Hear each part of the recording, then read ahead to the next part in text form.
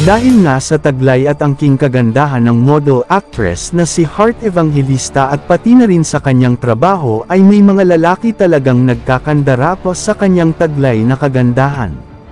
Sa kabila kasi ng kanyang edad ay napapanatili pa nito ang kanyang kagandahan kaya di talaga maiiwasan na pagkaguluhan ito ng mga boys lalong-lalo na internationally at isa nga din ito sa malimit na pinag-aawayan ng dalawa ang pagseselos ni Cheese na makasalamuha ito sa iba. Ang pagseselos ni Cheese kay Hart ay isa nga talaga sa issue ng kanilang dalawa at may chika kasing aming nakalap na dahil dito ay nagkaroon daw ng pagkakataon na nag-away sila dahil sa pinagselos selosan ni Cheese ang naging katrabaho ni Hart sa ibang bansa na isang banyaga.